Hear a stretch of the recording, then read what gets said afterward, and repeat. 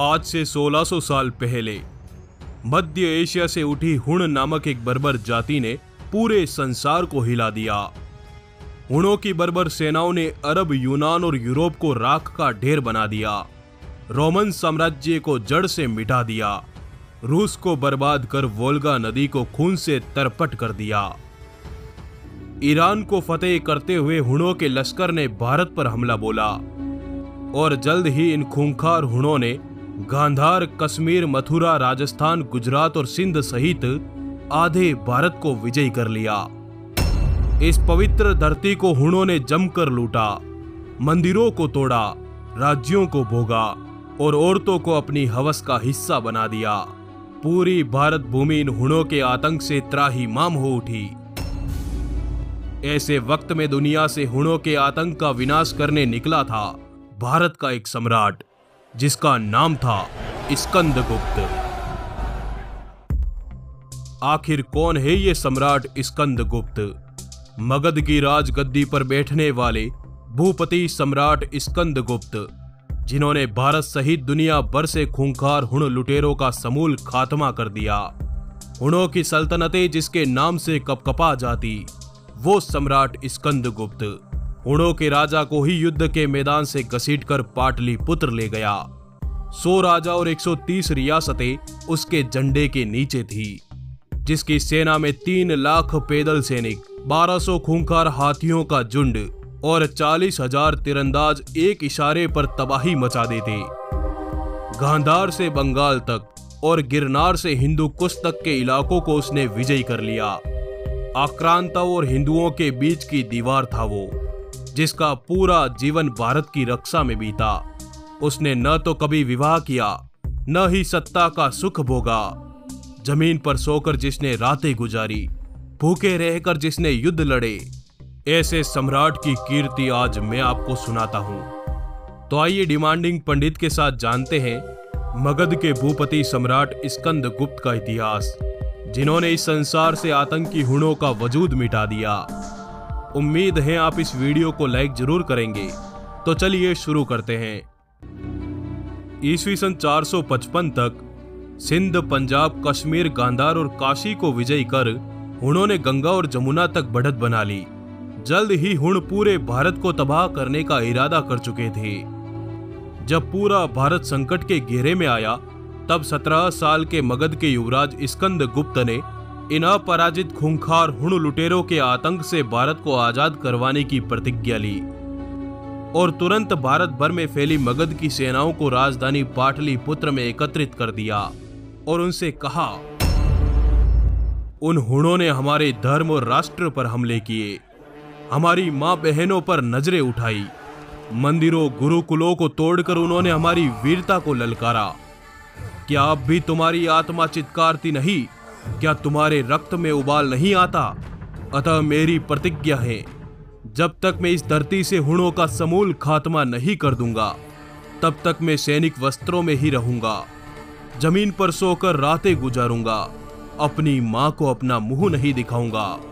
अतः हम शत्रुओं को दिखा देंगे कि जब आर्यों की संतानें तलवारों को थाम ले तो परिणाम क्या होता है? सेना ने प्रत्युत्तर में कहा, हे आर्यपति सम्राट आपसे ही क्षत्रियों का सर ऊँचा है। रण में, वन में, विपत्ति में हम आपके सहभागी रहेंगे। फरवरी के सर्द सवेरे में सम्राट स्कंद गुप्त ने मगध की विशाल सेनाओं के साथ हुणों पर चढ़ाई कर दी। भूपति सम्राट का पहला हमला गुप्त सत्ता के निकट स्थापित तीन हुण राज्यों पर हुआ। इतनी बर्बरता से स्कंद गुप्त ने हुणों को तबाह किया कि हुणों की सल्तनत काप उठी।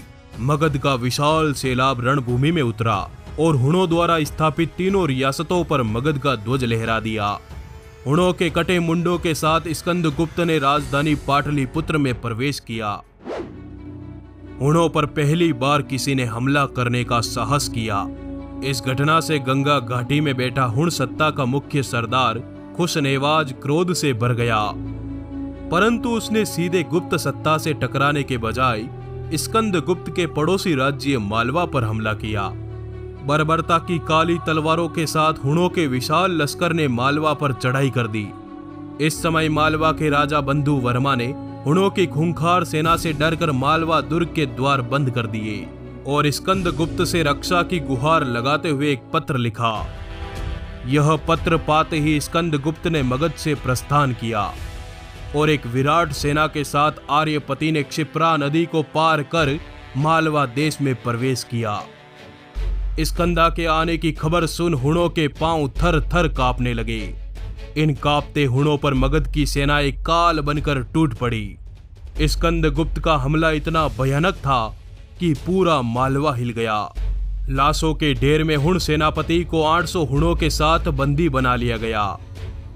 ऐसे भयंकर सम्राट स्कंद गुप्त के पराक्रम के आगे मालवा की सत्ता झुक गई और बंधु वर्मा ने स्कंद गुप्त को अपना अधिपति स्वीकार कर लिया।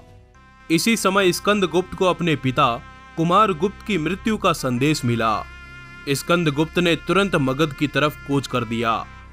इधर राजधानी पाटलिपुत्र राजा कुमार गुप्त की मृत्यु के बाद युद्ध का मैदान बन गई। युद्ध मानो नियति बना। मगध का सिंहासन खून से सन गया। स्कंद गुप्त के सभी भाइयों और रिश्तेदारों के मध्य सत्ता को लेकर भयंकर युद्ध छिड़ गया। आज के पटना की धरती को भीम का योद्धाओं ने रक्त से नहला दिया। तभी स्कंद गुप्त ने अपनी सेनाओं के साथ राजधानी पाटलिपुत्र में प्रवेश किया। स्कंद गुप्त के युद्ध भूमि में आते ही मैदान में सन्नाटा पसर गया। मगध की सत्ता का सबसे तगड़ा दावेदार मैदान में उतर चुका था और जल्द ही भूपति सम्राट स्कंद गुप्त ने मगध की राज सत्ता पर अपना दावा ठोक दिया और विक्रमादित्य की उपाधि धारण कर ली। इधर स्कंद गुप्त द्वारा मालवा में हुणों के सामूहिक कत्लेआम से हुण सरदार खुश नेवाज बदले की आग से तप उठा। उसने भारत में मौजूद अपने तमाम हुण सामंतों को गंगा पर एकत्र किया। और तीन लाख की विशाल सेना के साथ गुप्त सत्ता का नामो निशान मिटाने की कसम खाते हुए मगध की ओर प्रस्थान कर दिया। ईस्वी सन 455 को मगध की विशाल सेनाओं ने हर हर महादेव की ललकारों के साथ गंगा की तरफ़ कूच किया। आज के गाजीपुर के निकट सेदपुर फाटा में दोनों सेनाओं के मध्य भीषण युद्ध हुआ। स्कंद गुप्त दो लाख योद्धाओं के साथ मैदान में उतरे। युद्ध इतना भयंकर था कि हाथियों और विशाल सेनाओं से युद्ध भूमि में तेज आंधियों के साथ बवंडर उठा और तभी दो हाथों में तलवार लिए सम्राट स्कंद गुप्त ने युद्ध के मैदान में प्रवेश किया। युद्ध भूमि में आते ही स्कंद गुप्त ने रणभूमि में ऐसा कतलेआम मचाया कि गंगा का बहाव भी लाल पड़ गया। स्कंदा की एक आवाज़ पर हिंदू योद्धाओं ने शत्रुओं के मस्तक उतारने शुरू किए। हिंदवी तलवारों ने मुंड के मुंड काट डाले। सम्राट रणभूमि के बीच में थे।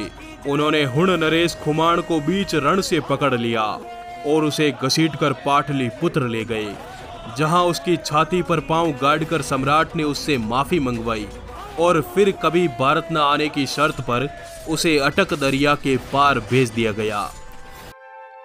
सम्राट ने सिंध से यवनों की सत्ता को ढहा दिया। कई दशकों बाद कश्मीर में पुनः एक आर्य राज्य की स्थापना की गई।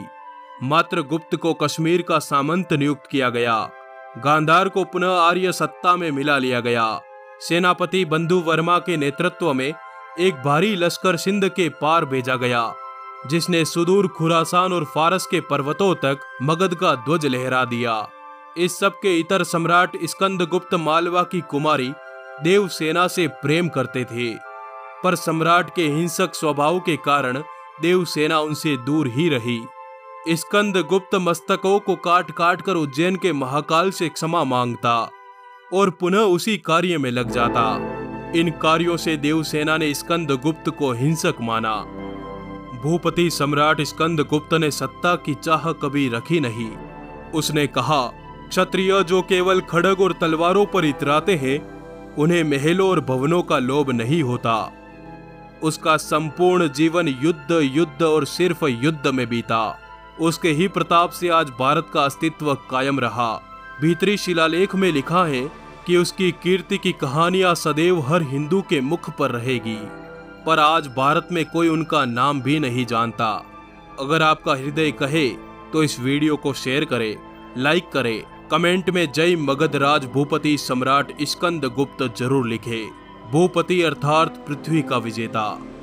आपका आभार धन्यवाद जुड़े रहिए।